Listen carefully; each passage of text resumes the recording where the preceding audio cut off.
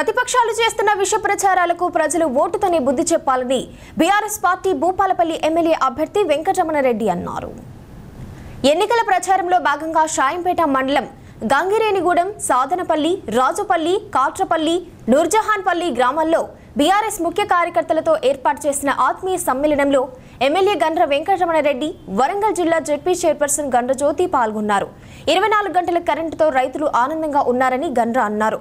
ప్రతిపక్షాల మాటలకు ప్రజలే ఓట్లతో బుద్ధి చెప్తారని తెలిపారు. ఎవరింట్లో పెళ్ళైనా ఏ ఏ శుభకార్యమైనా ఏ కార్యక్రమైనా ఆ రోజులలో కరెంటు సమయాన్ని చూసుకొనే మనం వెళ్ళాల్సిన పరిస్థితి ఉండేది. కానీ ఈరోజు ఆ పరిస్థితి ఉందా?